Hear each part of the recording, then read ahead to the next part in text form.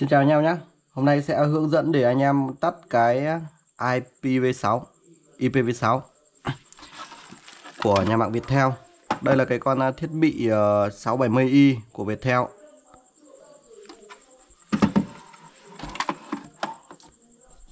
Để ờ, tắt cái IPv6 thì anh em cũng phải ờ, Bước thứ nhất anh em phải đăng nhập vào cái WiFi Wi-Fi này.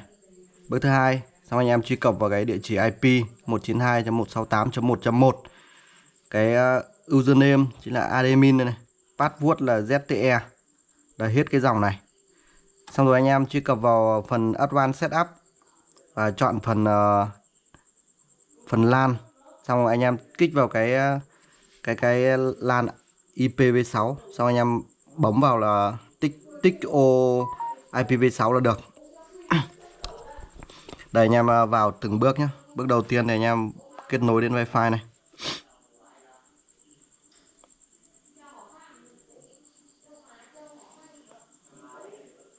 Bước đầu tiên là anh em kết nối đến cái wifi Cái wifi này. Cái wifi này có mật khẩu là từ 1 đến 9 Đối với cái mạng mà nó không có, Nó không Nó không có kết nối mạng anh em nhé thì khi mà mà điện thoại nó báo là có kết nối hay không, thì anh em giữ vào là vẫn kết nối cái mạng này. Ở đây là nó không có internet. Nó sẽ báo là đã kết nối mà không sử dụng internet. Anh em, tiếp đến anh em sẽ sử dụng cái trình duyệt. Bất kỳ một cái trình duyệt nào nhé. Sau anh em đánh cái địa chỉ IP của modem ra 192.168 chấm 1 chấm 1 xong anh em bấm đi. Đối với ờ, các máy thì đây đây tôi sử dụng cái trình duyệt này đi. Một số máy nó sẽ cảnh báo là mình sẽ truy cập vào, nó sẽ cảnh báo.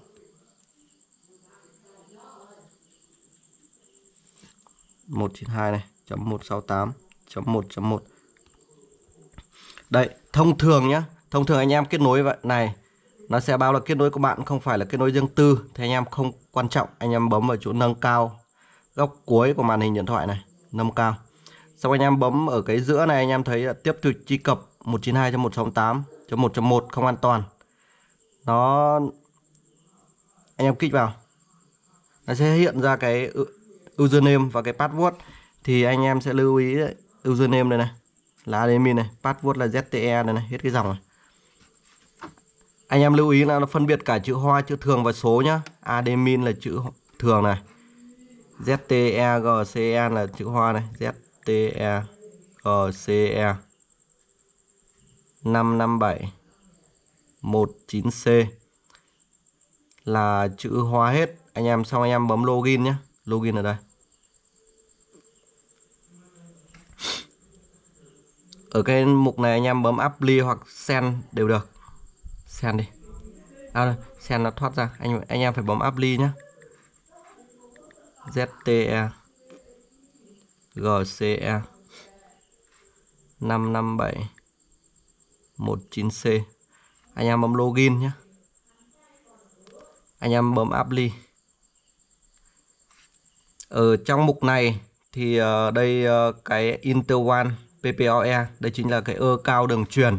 Ơ cao và cái mật khẩu đường truyền thì anh em không quan tâm này. Còn đây bên dưới nếu mà anh em muốn đổi cái tên wifi hoặc là mật khẩu wifi thì anh em kích ở bên dưới này.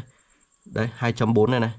Còn anh em muốn, ở đây nó có cái enable bank steering này. Đây là, nó đã gộp băng tần. Anh em kích, anh em bỏ đi thì nó sẽ là băng tần 2.4 và băng tần 5 5G đấy. Anh em để cái nào cũng được xong anh em, cái mục Advanced Setup, anh em click vào. Ok, tất cả các, tất cả model nó đều gần tương tự như nhau anh em nhé anh em kích vào cái local network này. Local network. Xong anh em chọn vuốt lên. Anh em vuốt kéo màn hình to to lên tí. Anh em sẽ phần phải phần lan này. Đó. Phần LAN này thì có hai mục là IPv4 và IPv6. Thì anh em muốn tắt cái IPv6 thì anh em kích vào IPv6 bên cạnh. Đó. Xong em, em chú ý này, cho phần DHCP server anh em kích vào. Đây. Đây anh em thấy DHCP đây. Server đây, anh em kích vào cái op này. Sau anh em bấm apply. Như vậy là xong. Đấy. Đây là toàn bộ cái quá trình mà chúng ta tắt cái DHCP và tất cả model nó cũng gần tương tự anh nhá. Anh em cứ truy cập vào một cái mục LAN này, xong tìm chọn cái IPv6 xong chọn chỗ DHCP server này, xong anh em bấm ập đi là được. Như vậy là chúng ta đã hoàn thiện cái quá trình mà mà tắt cái DHCP à tắt cái IPv6 Đó.